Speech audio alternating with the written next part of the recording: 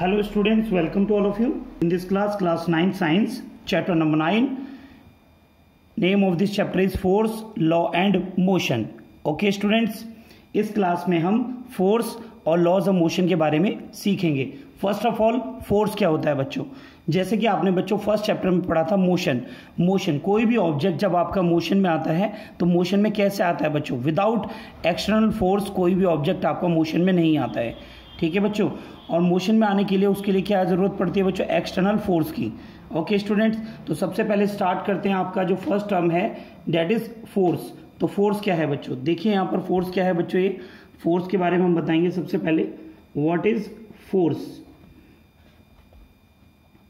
ठीक है? जैसा कि टर्म से ही आपको पता पड़ रहा है नॉर्मली आप सभी को बच्चों को पता ही है कि बच्चों फोर्स क्या होता है। लेकिन प्रॉपर डेफिनेशन बच्चों हम यहाँ पे सीखेंगे इसकी कि प्रॉपर डेफिनेशन क्या है फोर्स की। तो देखेंगे फोर्स को हम बोलते हैं यहाँ पर ए पुश और पुल ए पुश और pull is called as force is called as force तो बच्चों, ये सिंपल डेफिनेशन आपके लिए है। किसी चीज़ को पुश करना या पुल करना that is called as force उसे हम बच्चों फोर्स कहते हैं। ठीक है बच्चों? इसको अगर हम और थोड़ा सा अगर हम लॉन्ग डेफिनेशन अगर हम इसकी बताएँ तो हम फोर्स को इस तरीके से भी डिफाइन कर सकते हैं बच्चों। देखिए यहाँ पर सभी। A force is that a force is that external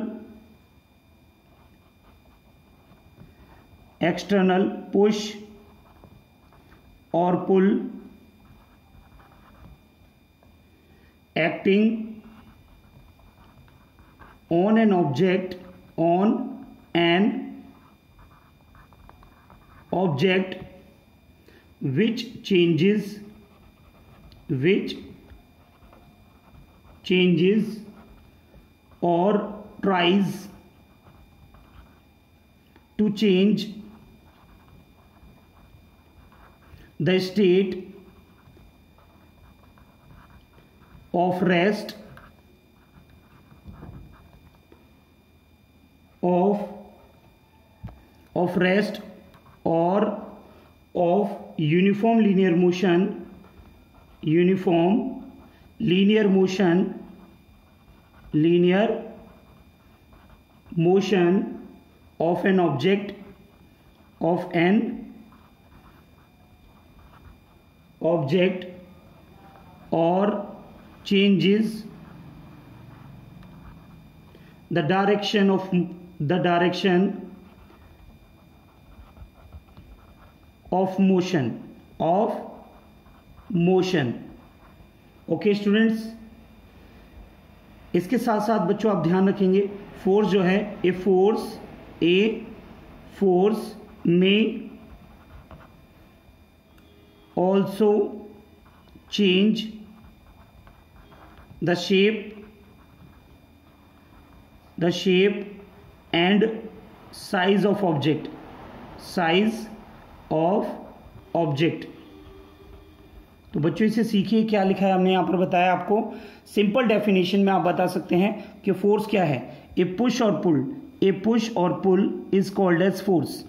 कि कोई भी एक पुश या पुल, इसे हम कहते हैं फोर्स। जैसे बच्चों एक एग्ज़ाम्पल लेते हैं, जैसे कि आप अपने घर पे हैं, ठीक है, जब आप गेट को खोलते हैं, ठीक है, आप अपने गेट के, घर के गेट को खोल रहे हैं, ठीक है तो उसे आप अपनी तरफ़ खींचेंगे that is called as pull उसे क्या कहेंगे बच्चों पुल कहते हैं, ठीक है, जब आप गेट को बंद करते हैं तो उसे आप अपने से दूर धकेलते हैं तो इसे हम बोलते हैं बच्चों पुश क्या बोलते हैं बच्चों पुश तो that is known as a push और pull is called as force next देखेंगे बच्चों यहाँ पर a force is that external push और pull acting on an object यानी फोर्स क्या होता है बच्चों? एक्सटर्नल यानी जो बाहर से लगाया जाता है पुश और pull acting on an object which changes जो चेंज करता है और try to change the state of rest कोई भी ऑब्जेक्ट हमारा रेस्ट में है उसकी स्टेट को चेंज करता है, उसे मोशन में ला सकता है और ऑफ़ यूनिफॉर्म लीनियर मोशन अगर कोई भी ऑब्जेक्ट आपका मोशन में है तो उसे वो रेस्ट में ला सकता है बच्चों। ठीक है ऑफ़ एन ऑब्जेक्ट और changes the direction of motion या किसी भी जो मोशन में है, कोई भी ऑब्जेक्ट मूव कर रहे हैं, अगर हम उस पर फोर्स लगाते हैं तो उसकी डायरेक्शन भी चेंज कर सकते हैं बाय अप्लाइंग एनी फोर्स तो बच्चों, एक एग्जांपल हम आपको बताते हैं। जैसे कि आप देख रहे हैं यहाँ पर कि हमारे, मैंने ये लिया ठीक है? और मैंने इसको यहाँ पर मैंने ऐसे रख दिया। ठीक है बच्चों? जैसे ही मैं इस पर फोर्स लगाऊँगा तो ये किसमें आ गया बच्चों? मोशन में आ गया। ठीक है? अभी अगर कोई भी ऑब्जेक्ट अगर हमारा मूव कर रहा है, अब देखिए ये ऑब्जेक्ट हमारा मूव कर रहा है, ठीक है? अब मैंने यहाँ पर इसे फोर्स लगा देंगे तो ये किसमें आ जाएगा? रेस्ट में आ जाएगा, ठीक है? अगर कोई भी ऑब्जेक्ट अगर हमारा मूव कर रहा है, उससे हम उसकी डायरेक्शन को भी चेंज कर सकते हैं। जैसे कि बच्चों, आप देखते हैं क्रिकेट मैच में। क्रिकेट मैच में जब कोई भी बॉल या फुटबॉल मैच में या जो बॉल होती है, वो किसी भी एक डायरेक्शन में जा रही होती है तो अनदर प्लेयर उस पर फोर्स अप्लाई करके उसकी डायरेक्शन को चेंज कर देता है। तो बच्चों, इस तरीके से हम उसकी डायरेक्शन को भी चेंज कर सकते हैं। तो फोर्स जो है, किसी ऑब्जेक्ट को रेस्ट से मोशन में भी लेके आ सकता है और जो मोशन में ऑब्जेक्ट है, उसे रेस्ट में भी कर सकता है। ठीक है? और direction of motion of an object उसको भी वो चेंज कर सकता है। ठीक है बच्चों? समझ में आया सभी को? नेक्स्ट देखेंगे हम यहाँ पर। Force may also change the shape and size of an object force जो है, किसी भी ऑब्जेक्ट की शेप और साइज़ को भी चेंज कर सकता है। कैसे करेगा बच्चों? अगर आप देखें, कोई भी बैलून अगर आप लेते हैं, या ठीक है एग्ज़ाम्पल ले लेते हैं, आपने कोई बैलून लिया, या फिर कोई भी ऑब्जेक्ट आपने लिया, ठीक है, जब आप उस पर फोर्स अप्लाई करेंगे, ठीक है तो हम उसकी शेप को भी चेंज कर सकते हैं। ठीक है बच्चों? तो हम यहाँ से देख रहे हैं हम शेप एंड साइज़ को भी हम ऑब्जेक्ट के चेंज कर सकते हैं। ठीक है बच्चों? नेक्स्ट देखेंगे हम यहाँ पर effect of force next point आएगा बच्चों हमारा effect of force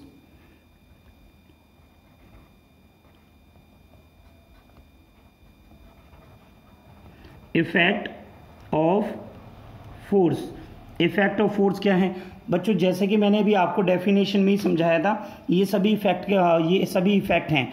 यानी किसी भी ऑब्जेक्ट को रेस्ट में लेके आना, किसी भी ऑब्जेक्ट को मोशन में करना that is known as the effect of force ठीक है बच्चों? चलिए यहाँ पर कुछ इफ़ेक्ट हम आपको नोट डाउन कर देते हैं। एग्ज़ाम में बच्चों, आपका ये टू मार्क्स का क्वेश्चन आपका आ सकता है।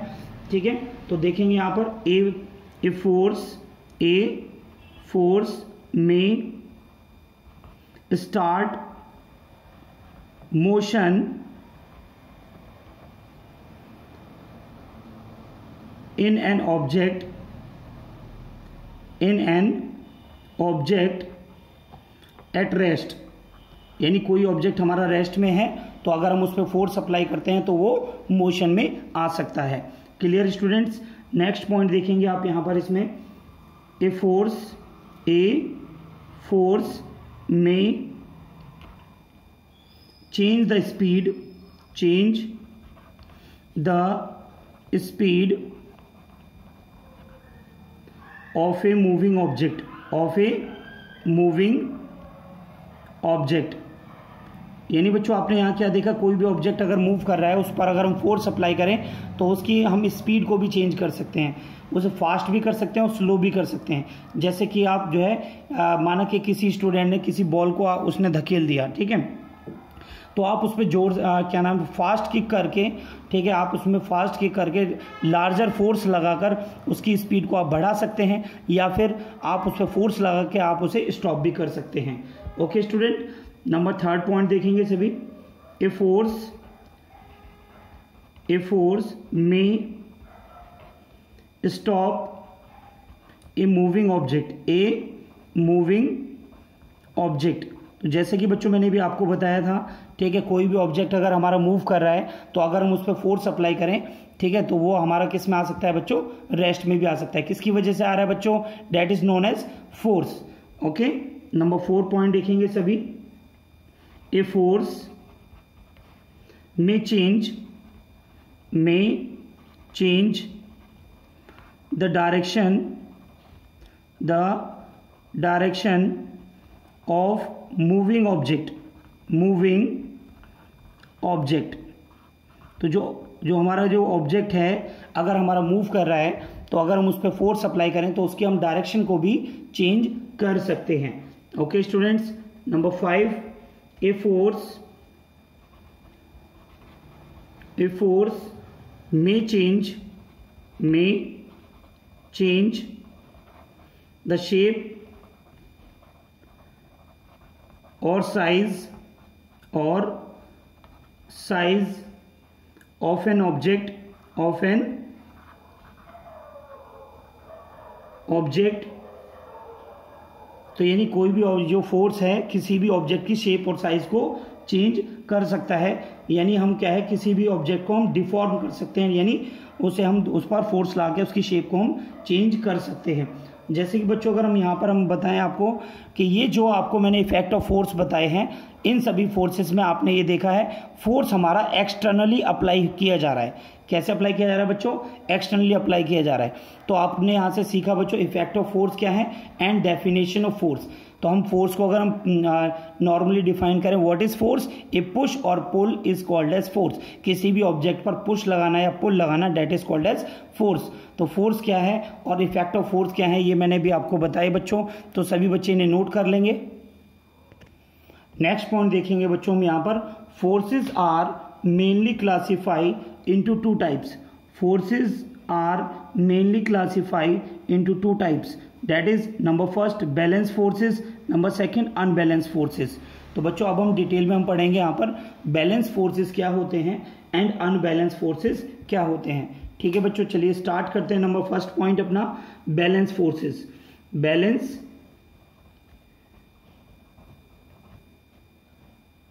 balanced forces ठीक है बच्चों, जैसे कि आपको वर्ड से ही पता चल रहा है, जहाँ पर आपके फोर्स जो हैं बैलेंस होते हैं उन्हें हम बैलेंस फोर्सेस कहते हैं। बैलेंस फोर्सेस किस टाइप के होते हैं? बच्चों, देखेंगे आप यहाँ से। सबसे पहले मैं आपको एक एग्ज़ाम्पल देके दिखाता हूँ, उसके बाद आपको डेफिनेशन समझाऊँगा। जैसे कि मान लेते हैं बच्चों, हमारे पास में एक ऑब्जेक्ट है। क्लियर स्टूडेंट्स और ये ऑब्जेक्ट यहाँ पर प्लेस किया गया है। ठीक है? और ये जो हमने लिया है that is known as smooth floor ये क्या है हमारे बच्चों, हमारा? That is known as smooth floor smooth floor ये हमने लिया है। और इस ऑब्जेक्ट पर फोर्स अप्लाई किया जा रहा है। ठीक है? ये फोर्स यहाँ से अप्लाई किया जा रहा है। That is known as F one ठीक है? एक फोर्स यहाँ से अप्लाई किया जा रहा है इसके अपोजिट डायरेक्शन में। That is known as F two okay students अब हमारे जो फोर्सेस की जो वैल्यूज़ हैं, ठीक है? फोर्सेस की जो वैल्यूज़ हैं, इसमें हमें दिया गया है F one is equal to F two अगर हमारे फोर्सेस दोनों इक्वल हैं आपस में तो ये ऑब्जेक्ट क्या होगा बच्चों? यहाँ पर ये ऑब्जेक्ट हमारा मूव नहीं करेगा। इस इस सिचुएशन में क्या होगा ये? ये दोनों फोर्सेस हमारे कैसे फोर्सेस होंगे बच्चों ये? बैलेंस फोर्सेस कैसे फोर्सेस होंगे बच्चों? बैलेंस फोर्सेस समझ में आ रहा है बच्चों? अगर दोनों तरफ़ से, दोनों अपोजिट साइड से अपोजिट साइड से अगर हम इक्वल अमाउंट ऑफ़ फोर्स लगाएँगे तो जो हमारा ऑब्जेक्ट है, वो ऑब्जेक्ट हमारा मूव नहीं करेगा। ठीक है बच्चों? तो ये बच्चों मैंने आपके लिए क्या बनाया था? It is known as object ये बच्चों आपका ऑब्जेक्ट है।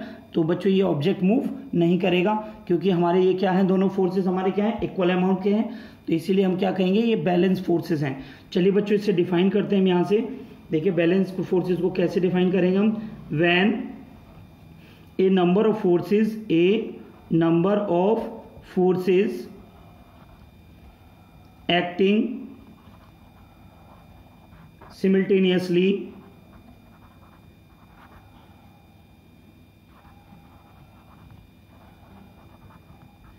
simultaneously on an object on an object.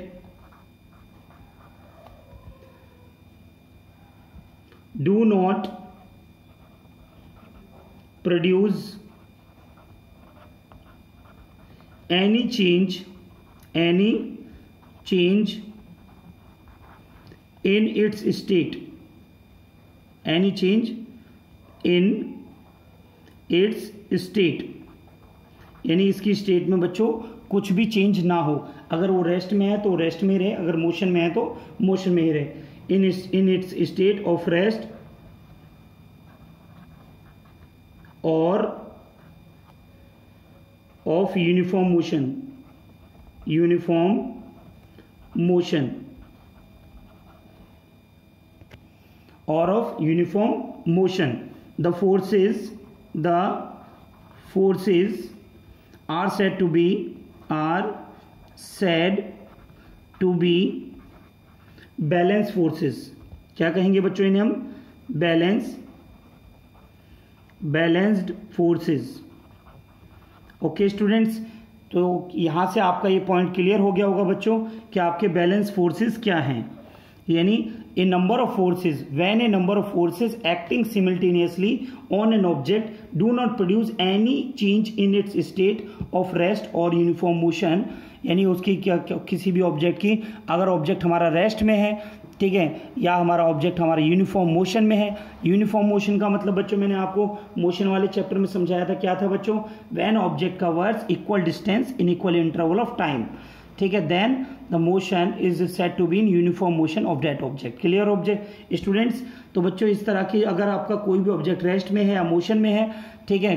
अगर हमारे इक्वल अमाउंट ऑफ़ फोर्सेस उस पर अप्लाई होते हैं नंबर ऑफ़ फोर्सेस उस पर अप्लाई होते हैं अगर वो आ, कोई भी चेंज नहीं करते हैं ऑब्जेक्ट की स्टेट में तो उन्हें हम बोलेंगे बच्चों बैलेंस फोर्सेस तो सभी बच्चों को ये समझ में आया होगा ठीक है? तो हम यहाँ पर देखेंगे बच्चों इनके कुछ एग्ज़ाम्पल देखेंगे। ठीक है, जैसे कि मैं एग्ज़ाम्पल आपको यहाँ पर दिखा रहा हूँ। एग्ज़ाम्पल नंबर लिया मैंने एग्ज़ाम्पल नंबर वन जैसे बच्चों in a tug of war in a tug in a tug of war तो ये टग ऑफ़ वार क्या होता है बच्चों? सबसे पहले तो ये आपके दिमाग में आएगा। टग ऑफ़ वार में क्या होता है बच्चों? कि हमारे पास में टू टीम्स होती हैं, कि हमारे पास में कुछ जैसे हमारे पास में कुछ कैंडिडेट्स होते हैं, ठीक है, जो अपोजिट साइड में खड़े होते हैं बच्चों जैसे कि मैं आपको दिखा रहा हूँ यहाँ पर ठीक है? और ये आपस में एक रोप को खींचते हैं ठीक है? ये अपनी तरफ़ खींच रहे हैं बच्चों ये अपनी तरफ़ खींचते हैं बच्चों यहाँ से देखें आप ठीक है? जब ये इक्वल अमाउंट ऑफ़ फोर्सेस लगाएँगे तो ये हमारे आ, को, कोई भी कैंडिडेट हमारे विन नहीं होंगे कोई भी कैंडिडेट हमारे नहीं जीतेंगे ठीक है बच्चों? इस तरह के गेम को हम बोलते हैं tug of war clear students तो इसमें हम यहाँ पर इसे पूरा कंप्लीट एक्सप्लेन करेंगे बच्चों इसमें. In a tug of war in a tug of war the two teams two two teams pull a rope pull a rope mutually mutually opposite direction opposite direction यानी जो हमारी जो दोनों टीमें हैं, वो अपोजिट डायरेक्शन में पुल कर रहे हैं रोप को अपनी अपनी तरफ़ खींच रहे हैं। ठीक है बच्चों? If the two teams if both teams both teams apply equal forces equal forces then the rope does not move does not move in any direction in any direction clear है स्टूडेंट्स ये आपको बहुत अच्छे से समझ में आ रहा होगा। उम्मीद करता हूँ बच्चों कि अगर ये दोनों ही प्लेयर्स जो हैं, दोनों ही टीम के प्लेयर्स अगर इक्वल अमाउंट ऑफ़ फोर्सेस लगाएँगे तो जो रोप है वो किसी भी डायरेक्शन में नहीं जाएगी। ठीक है बच्चों? इस तरीके से आप क्या देख रहे हैं बच्चों? कि इसमें हमारे पास में in this situation both team applies in this in this situation in this situation situation both teams, both teams apply balanced forces, balanced forces clear student तो आपको ये पॉइंट आपको अच्छे से समझ में आ गया होगा कि हम यहाँ पर देख रहे हैं कि हमारे पास में एक ऐसा एग्ज़ाम्पल आया जिसमें जो है दोनों ही टीमें equal amount of force apply कर रही हैं। ठीक है बच्चों, इसे हम बोलते हैं बैलेंस फोर्सेस तो सभी बच्चे नोट कर लीजिए बेटा इसे। तो बच्चों नेक्स्ट पॉइंट बच्चों, आपका आता है अनबैलेंस फोर्सेस अनबैलेंस फोर्सेस से पहले मैं आपको बैलेंस फोर्सेस में ही एक पॉइंट आपको और बताना चाहूँगा बच्चों। जो नेट रिजल्टेंट फोर्स होता है, क्या होता है बच्चों? नेट रिजल्टेंट फोर्स मैं यहाँ पर नोट लिख रहा हूँ बेटा, सभी बच्चे ध्यान रखेंगे। ठीक है, ये नोट पॉइंट है, सभी बच्चे याद रखेंगे। इसमें क्या net resultant force net resultant force of balance forces of balanced forces acting on an object on an object is zero is zero तो बच्चों, हमने ये ज़ीरो क्यों बताया बच्चों आपको? देखिए ध्यान से इसमें।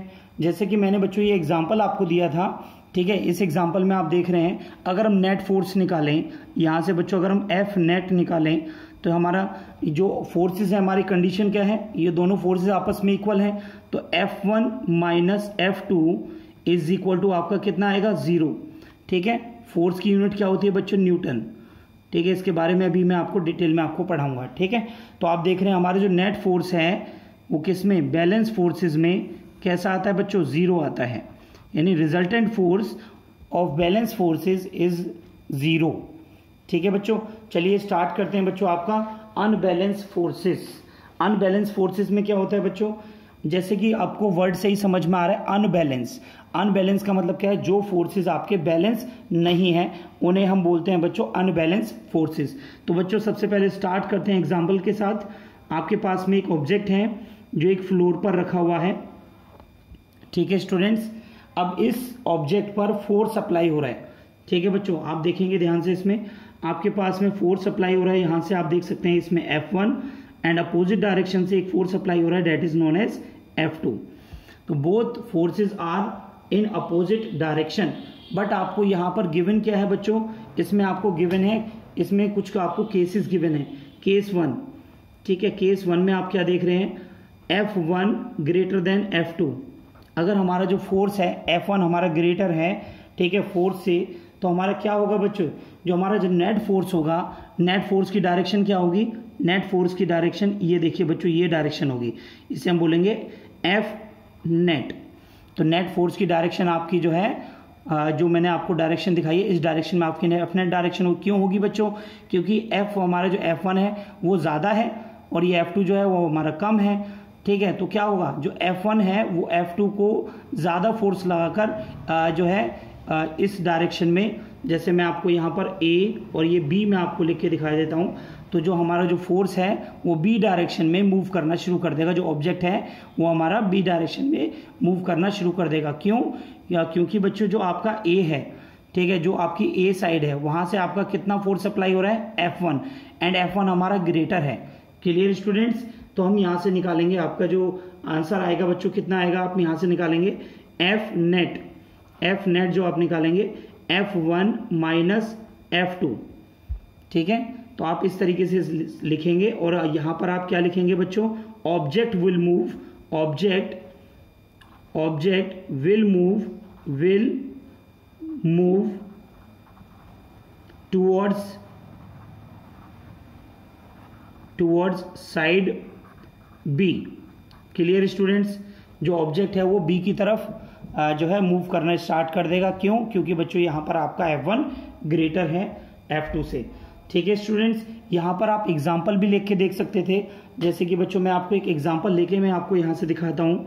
जैसे कि आप देख रहे हैं एफ़ वन लेट कर लेते हैं। एफ़ वन हमारा टेन न्यूटन है। कितना है बच्चों? टेन न्यूटन ठीक है फोर्स की यूनिट न्यूटन होती है बच्चों।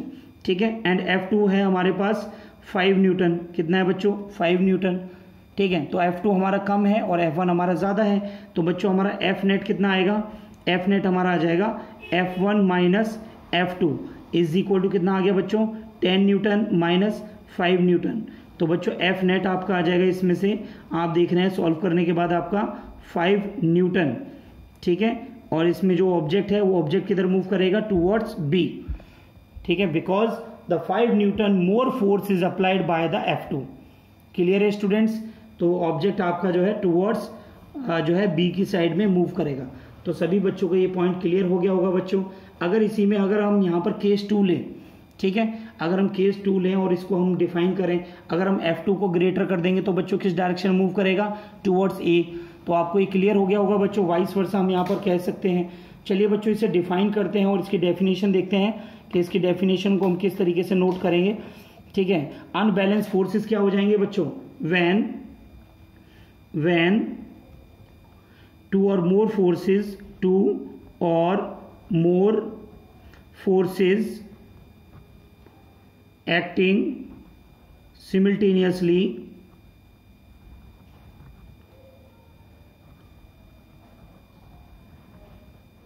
simultaneously on an object on an object on an object have a non-zero non zero resultant force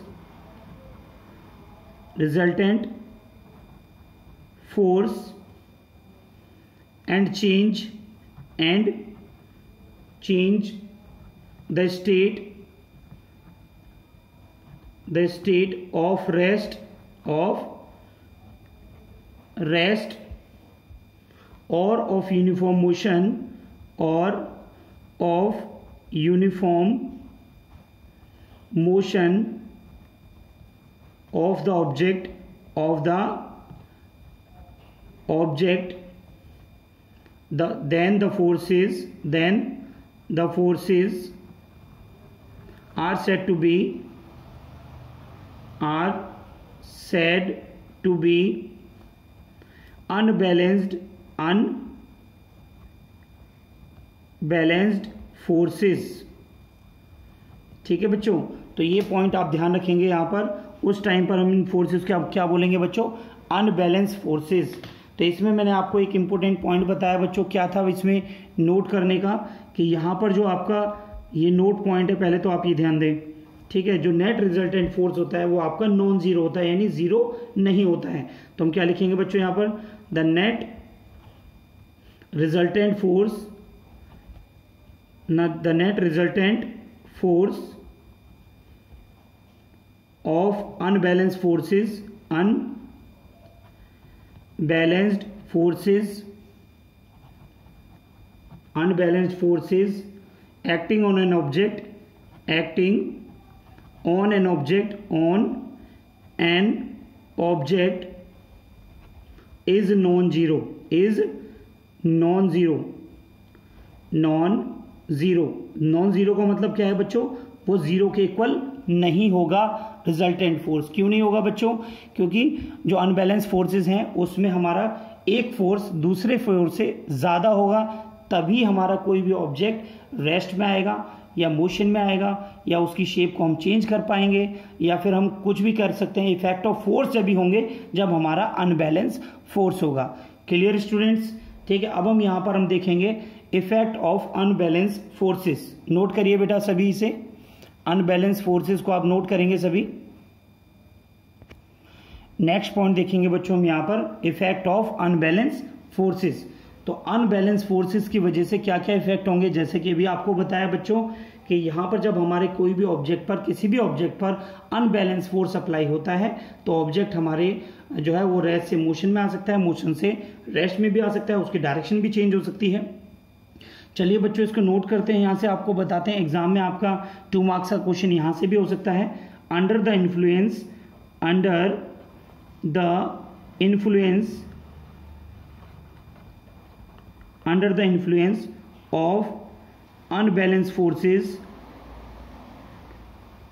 unbalance forces number first an object an object at rest may start may start motion.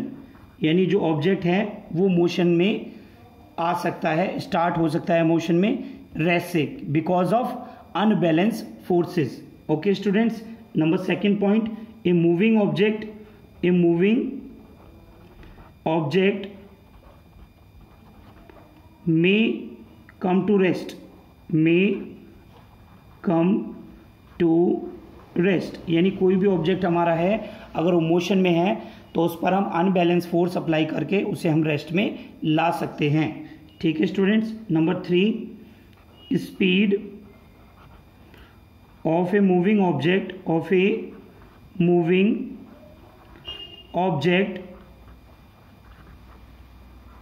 may change may change यानी किसी भी object की जो speed है, ठीक है? जो किसी भी कोई भी ऑब्जेक्ट हमारा जिस स्पीड से मूव कर रहा है, अगर हम उस पर अनबैलेंस फोर्स अप्लाई करें तो हम उसकी स्पीड को चेंज कर सकते हैं, उसे इंक्रीज भी कर सकते हैं और डिक्रीज भी कर सकते हैं ऑब्जेक्ट की स्पीड को by applying an unbalance forces जैसे कि बच्चों, कोई भी ऑब्जेक्ट है, ठीक है? अगर वो किसी भी स्पीड से अगर मूव कर रहा है, देखिए, आप देखिए यहाँ से, किसी भी स्पीड से जो ऑब्जेक्ट मूव करेगा तो हम उस पर अगर ग्रेटर फोर्स अप्लाई करेंगे तो वो रेस्ट में भी आ सकता है। या फिर अगर हम उसे उसी डायरेक्शन में ऑब्जेक्ट की मूविंग डायरेक्शन में अगर हम फोर्स अप्लाई करेंगे तो उसकी स्पीड भी इंक्रीज हो सकती है।